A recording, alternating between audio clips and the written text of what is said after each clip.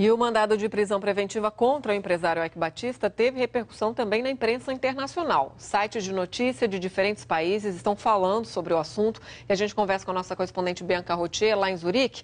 Bianca, queria saber o que a imprensa internacional está dizendo sobre essa operação. Muito bom dia.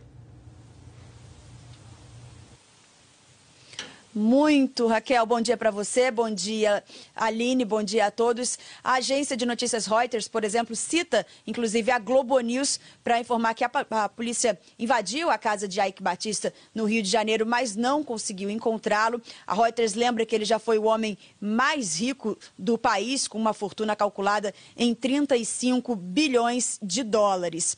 O site do jornal britânico Daily Mail com base em informações da Reuters, afirma que o alvo da polícia brasileira é o ex-bilionário Ike Batista. Lembra que no ano passado ele foi ouvido como testemunha perante o juiz Sérgio Moro e que o depoimento levou à prisão temporária de um ex-ministro da Fazenda, no caso Guido Mantega, que supostamente teria pressionado o empresário a fazer contribuições ilegais para campanhas do Partido dos Trabalhadores.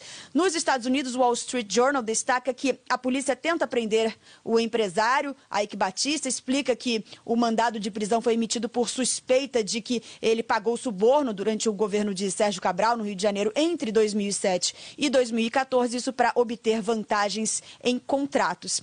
A também americana Bloomberg é um outro veículo a citar a Globo News, nesse caso, para afirmar que o empresário está fora do país e que vai se entregar, isso de acordo com um advogado dele, ouvido pelo canal aí no Rio. A Bloomberg diz também que a operação de hoje faz parte da mesma investigação que levou o ex-governador do Rio, Cabral, para cadeia. E também mostra que a Lava Jato, que começou, ganhou é, repercussão grande, né, investigando a Petrobras, continua a se expandir.